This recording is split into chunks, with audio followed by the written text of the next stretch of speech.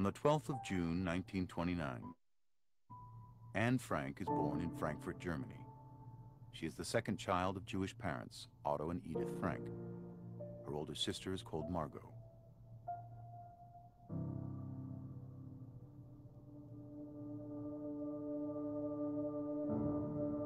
1933, when Anne is three years old, Adolf Hitler and the Nazi Party rise to power in Germany. The Nazis, building on existing anti-Jewish sentiments, blame the Jews for many of Germany's problems, and Hitler's government soon passes laws that turn Jews into second-class citizens.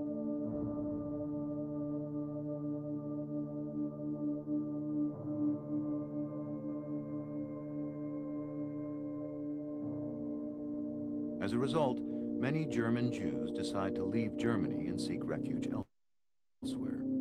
The Frank family moves to Amsterdam, the Dutch capital, where Otto Frank establishes his own business. The family settles in, leading a normal life for a number of years.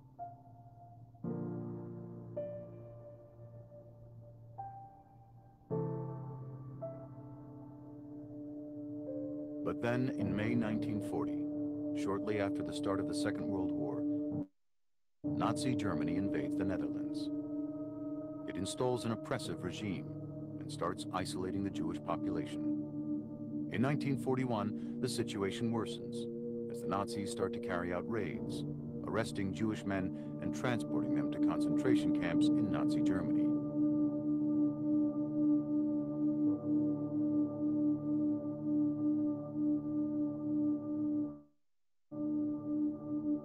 1942, when Margot receives a call-up notice to go and work in Nazi Germany, Otto and Edith Frank decide to take action. Having already prepared a hiding place in an empty part of Otto Frank's company building, they hurriedly move their family into the secret annex and go into hiding.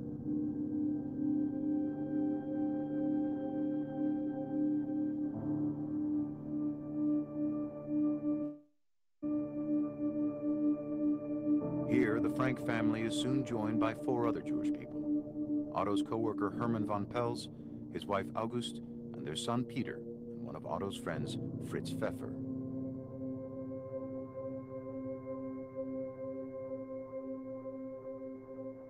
It is this group of eight people that will live together in the small annex for more than two years, sharing the burden of living in hiding with the constant fear of being discovered. All this time, they are cared for by six helpers, trusted employees of Otto Frank, who supply them with food and other necessities.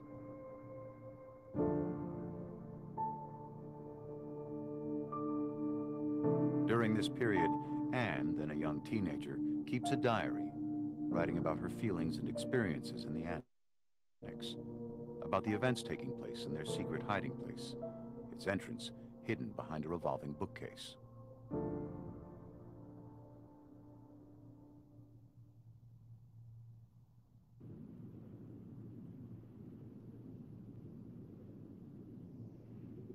Countless friends and acquaintances are on their way to a horrible destination. Night after night, the gr green or gray military vehicles drive by, ring every bell to ask if Jews live there. If so, the whole family has to go along right away. If not, they move on. No one can escape their fate unless they go into hiding.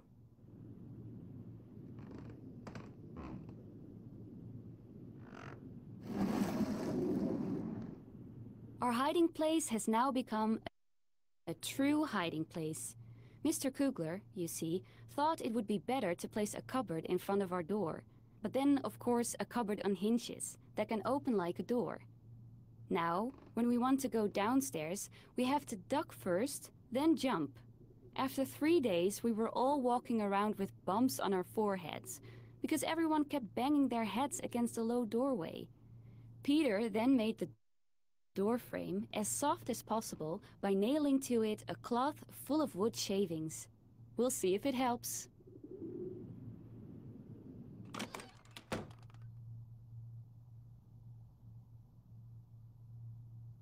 Straight across from the door, a steep set of stairs. To the left, a little hallway and a room, which is to be the Frank family's living room and bedroom.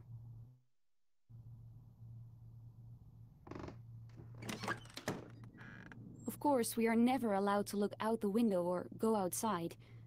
During the day, we always have to walk quietly and speak softly.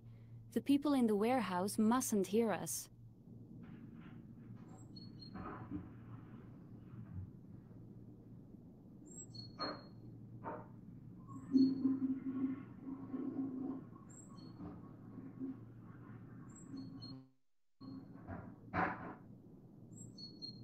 It weighs on me more heavily than I can say that we can never go out, and I am terribly afraid that we will be caught and executed. That, of course, is not a very pleasant prospect. We always look forward to those Saturdays, because that's when the books arrive. Normal people don't know how much books mean to someone who is locked up. Reading, studying, and the radio are our only distractions.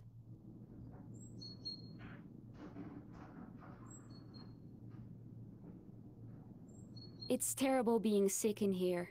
Whenever I had to cough, I would crawl down deep, deep, deeper under the blankets and try to quieten my throat as gently as possible.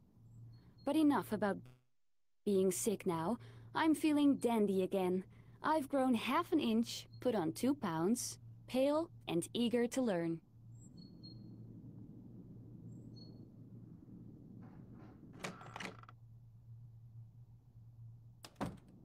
Our little room, with its stern walls, was very bare until now, thanks to father, who had brought my whole collection of picture postcards and movie stars here beforehand, I have been able to treat the walls with a pot of glue and a brush, and so turn the entire room into one big picture.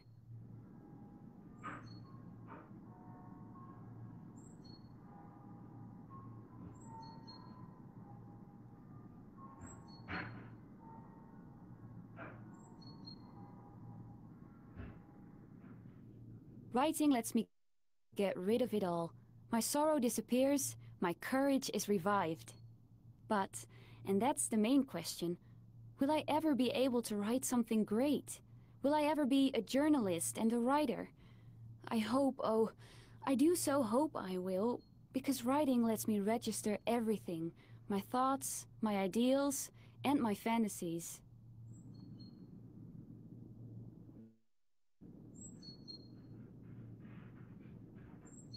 As of yesterday, I have found something new. For instance, using a good pair of binoculars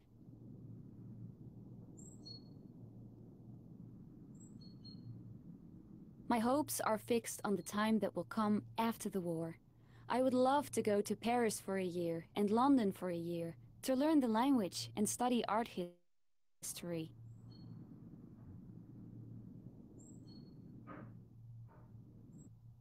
I feel bad for lying in a warm bed, while my dearest friends are out there somewhere, thrown or fallen to the ground. I even become afraid myself when I think about all those to whom I have always felt so close, and who are now in the hands of the cruelest brutes who ever existed. And that only because they are Jews.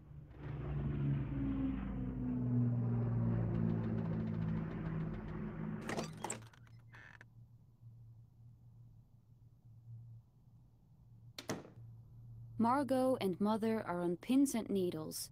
Shh, Father. Quiet, Otto. Shh. It's 8.30. Come here now. You can't run the water anymore. Walk quietly. These are the various cries that go out to Father in the bathroom. At the stroke of 8.30, he must be in the room. Not a drop of water, no walking, everything quiet. When there's no one in the office downstairs, everything sounds so much louder in the storeroom.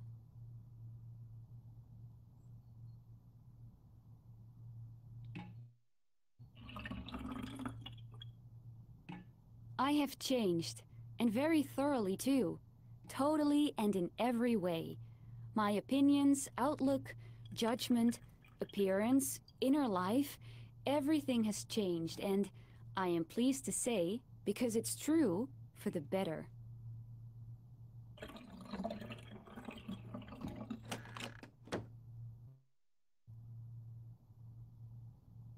If one climbs the stairs and opens the door at the top, one is amazed to find such a large, light and spacious room in such an old canal house. The kitchen, in other words, and also the bedroom of Mr. and Mrs. van Pels, the common living room, dining room and study.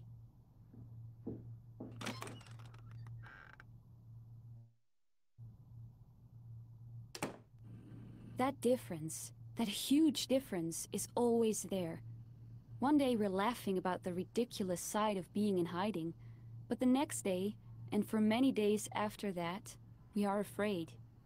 You can see the fear, tension and despair on our faces. This is the BBC Home Service. Here is a special bulletin. This is the day, the English radio said at 12 o'clock. And rightly so, this is the day. The invasion has begun. The annex in an uproar. Could it really be that the long-awaited liberation is on its way?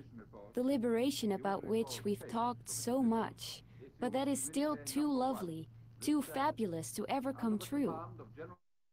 Could this year, this 1944, grant us victory? We don't know yet either, but the hope that springs eternal makes us brave, gives us renewed strength.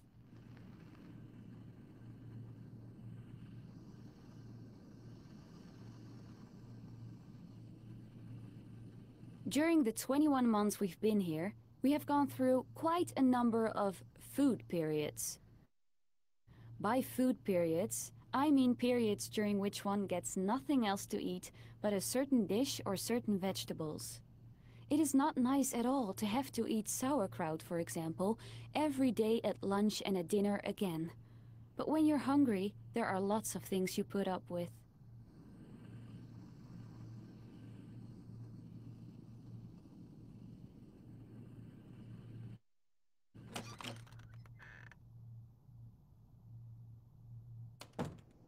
When you knock on his door early in the evening and hear someone quietly call out, yes, yes, then you can be sure that when you open the door, you will find him peeking out at you from between two steps of the stairs to the loft, and that he will usually continue with a rather welcoming, so. His little room is, well, well, what is it really? I think a sort of landing on the way to the loft. Very small, very dark and very humid. But he has made it into a real bedroom.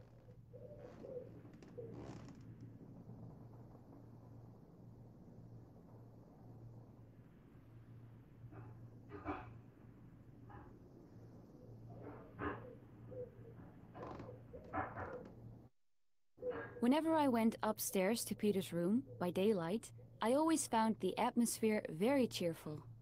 I watched for an opportunity to remain in the room unnoticed and to get him talking, and yesterday that opportunity arose. Peter, by the way, has suddenly developed a mania for crossword puzzles and does nothing else these days. I helped him with it, and soon we were sitting across from each other at his table, he in the chair, me on the divan. Do you really... I've reached the point where it doesn't matter much anymore whether I die or whether I live on. The world will go on spinning without me, and I can't do anything to change events anyway. I let it come and do nothing but study, and hope that things will turn out well.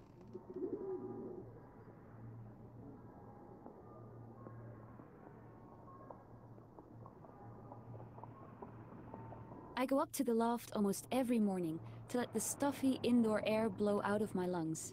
This morning, when I went to the loft again, Peter was there cleaning up. He was done quickly, and while I was sitting at my favorite spot on the floor, he came over too. The two of us looked at the beautiful blue of the sky, at the bare chestnut tree with little drops glistening on its branches, at the seagulls and other birds that seemed made of silver in the sunlight, and all of that moved and touched both of us, so that we could no longer speak.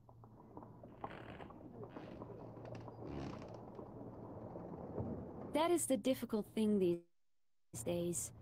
Ideals, dreams, lovely expectations barely rise up before being struck down by the most horrible of realities and so destroyed completely.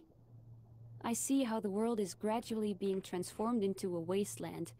More and more loudly, I hear the incoming thunder that will kill us too.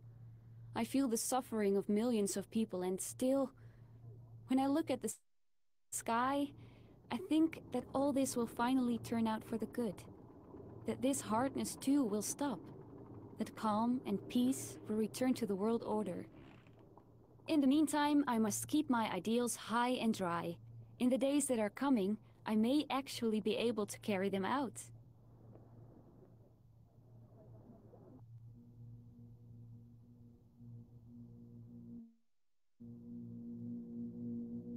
On the morning of the 4th of August, 1944, the hope Anne is holding on to is suddenly all lost. The hiding place is discovered, and police barge into the annex, arresting everyone.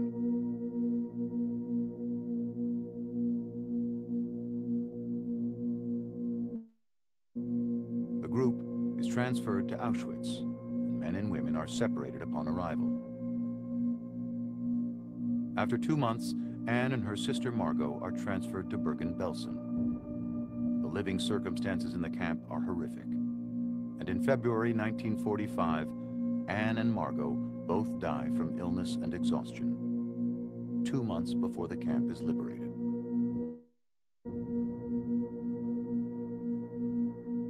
Of the entire group, only Otto Frank survives the camps. When he returns to the Netherlands, he finds the annex completely ransacked. Most of Anne's writings, however, had been safeguarded after the raid by one of the helpers, Miep Gies. When it becomes clear that Anne has died, they are handed over to Otto. Upon discovering Anne wanted to publish a book about her experiences, he decides to fulfill her wish. In 1952, Diary of a Young Girl is published in English. Will become one of the most read books in the world, translated into more than 70 languages.